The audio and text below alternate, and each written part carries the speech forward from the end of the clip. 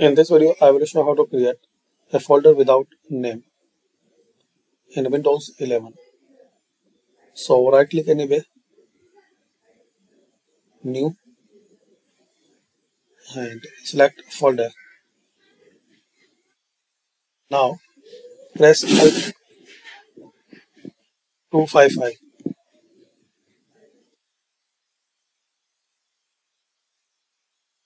So click here press and hold alt key then 255 and click anyway.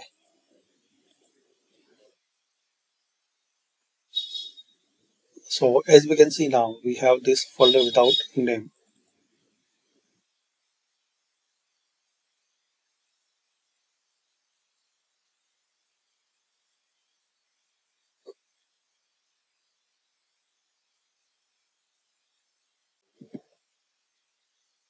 So type this alt plus 255